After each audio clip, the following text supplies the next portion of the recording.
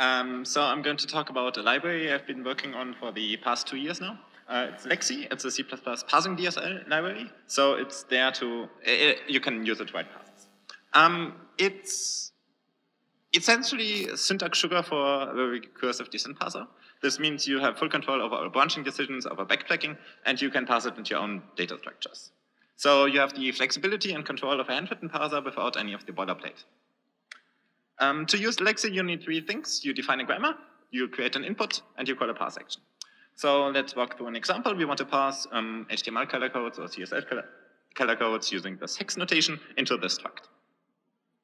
The first step is to define the grammar. Uh, grammar in lexy consists of productions, which are structs, um, with a special rule member that defines how the production is passed. So in this case, a color is a hash sign followed by three channels, which is another production uh, which simply passes an integer consisting of two hex digits. Uh, rules can produce values. In this case, the integer rule produces a uint8_t. So we specify a callback that defines how that uint8_t is transformed. So in this case, we just forward it, which means that now the channel production will produce a uint8_t, which we then use alt3 to construct our color.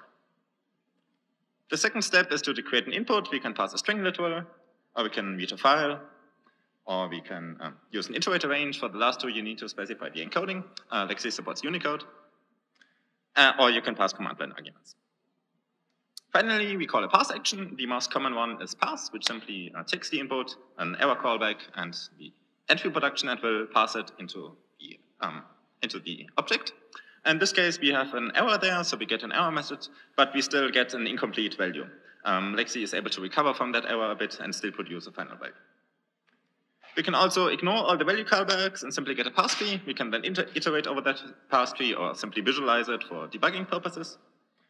Um, if you want to really see what's going on, we can also call trace. This um, goes ahead and uh, reports everything that lexy is doing during parsing code. So it gives you all the events that fire, all the errors it reported, any error recovery it did, and so on. It's really useful. We just, because it's some DSL, you want to really figure out what's going on.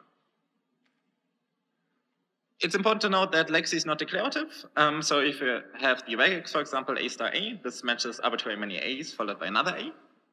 But the equivalent code in lexy, um, using the while rule, does not match anything because lexy is syntax sugar for a handwritten parser.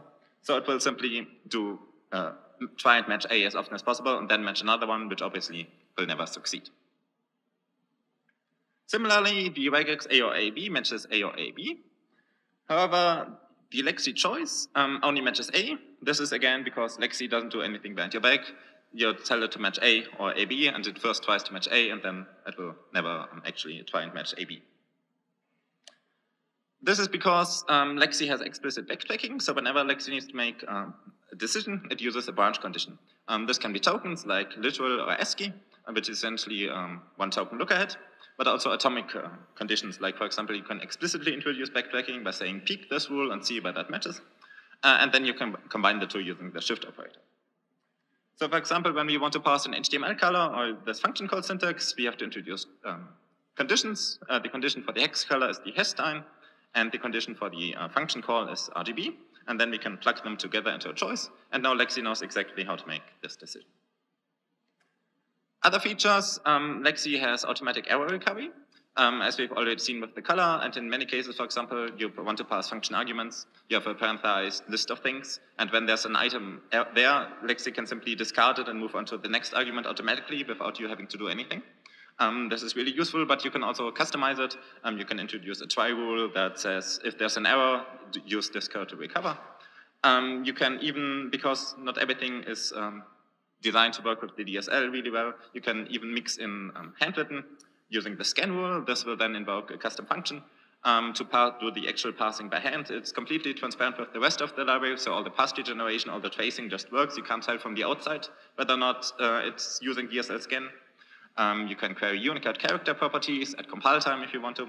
Um, you can pass byte input, so your big little endianness integer specific bits, or this classic pattern of there's a type, there's a length, and then pass that many bytes. Um, I'm currently using it in my thesis to pass an actual programming language, so it has support for keywords and identifiers, operator precedence, um, in a really convenient DSL, so you don't have to worry about how to actually like uh, pass it and so on. And the, it's currently in beta. The first non-beta release will come this month. Um, all the demos in the talk are interactive, and you can find on the URL, you can also find like an online playground where you can try it out. And if you follow me on Twitter, I will also tweet out the slides. Thank you.